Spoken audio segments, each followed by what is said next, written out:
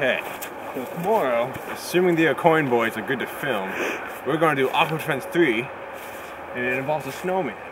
And the last time that I made a snowman, high school kids came and destroyed it.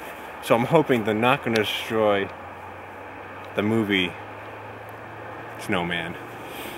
And if they do, I'll poop my freaking pants. So, uh, yeah, that's our purpose movie Snowman. That's it. Hopefully if he survives, there's going to be an Awkward Friends 3. And if it's dead, there's eventually going to be an Awkward Friends 3, but maybe not with a snowman.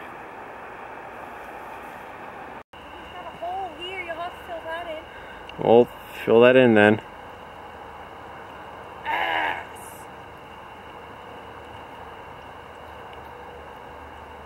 Yeah, I mean, you can't tell it all in the film.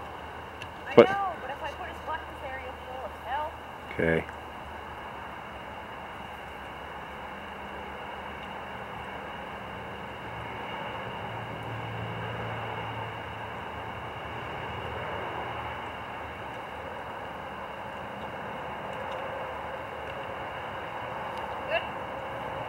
Yeah. Okay. And his head's over there. Come pick which side you want the face to be on. Eyes right in there. And then you can just flip whatever way you want. Okay.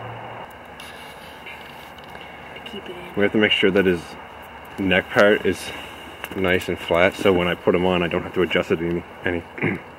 okay, well, just this th this part can be flat. That'll be his head, like the the neck part. Okay bottom and just flip him over and pull his other eye right here.